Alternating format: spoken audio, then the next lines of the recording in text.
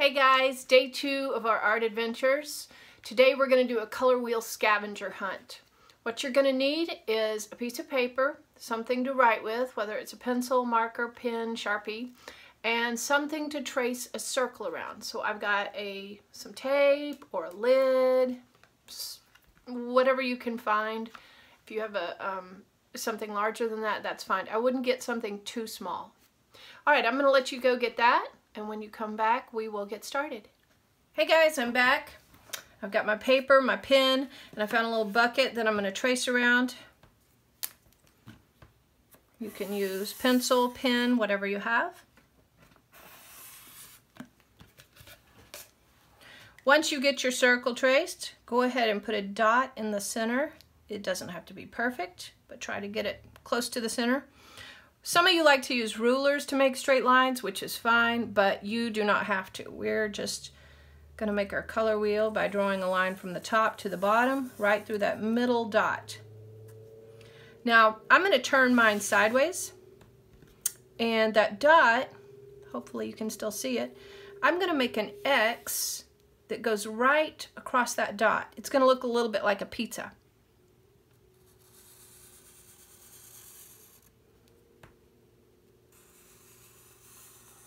And again, it does not have to be perfect. So here's our pizza slash color wheel. I'm going to start off by using the primary colors. I hope you remember what they are. They are yellow, red, and blue.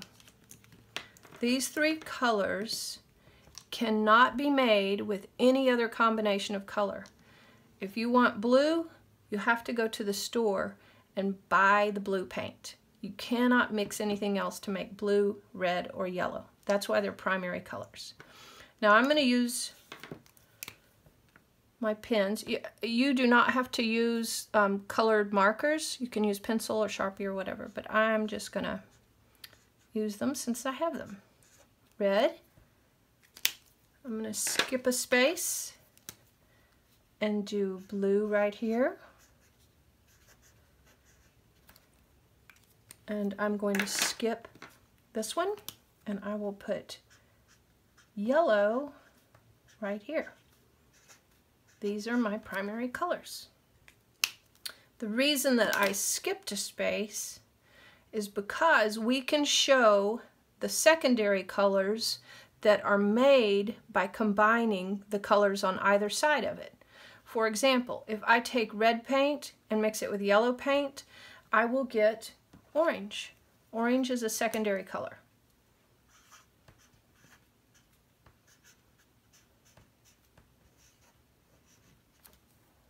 If I take yellow paint and mix it with blue, I will get green.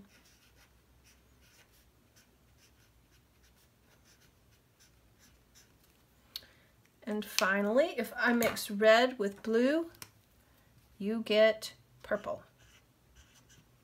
My purple does not look very purple to me. Sometimes they refer to purple as violet when they're on color wheels. So I'll put violet there too. All right, this is the scavenger hunt. So what we're gonna do is we are gonna go around the house and see if we can find things that match our color wheel. So for example, if I wanted to go find something green, I have a popsicle stick right here, it's green. However, if you can't find anything that's all green, that's fine. You can use something that is partially green, like this paintbrush. It's got gold, silver, and white on it as well. That's good enough. It's mostly green.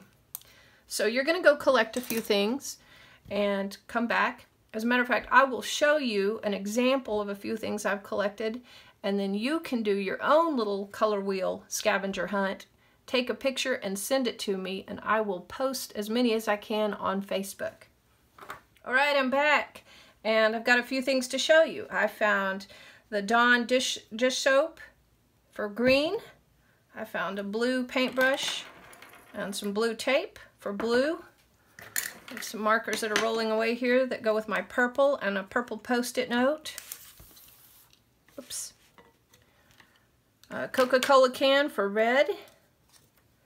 Orange, that was easy, for orange.